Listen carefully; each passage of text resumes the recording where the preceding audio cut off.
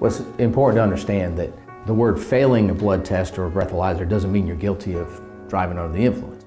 A .08 is uh, now the standard. It used to be a .10. All that does is indicate that you have alcohol in your system. A blood test, all that indicates is you either have alcohol or some other substance.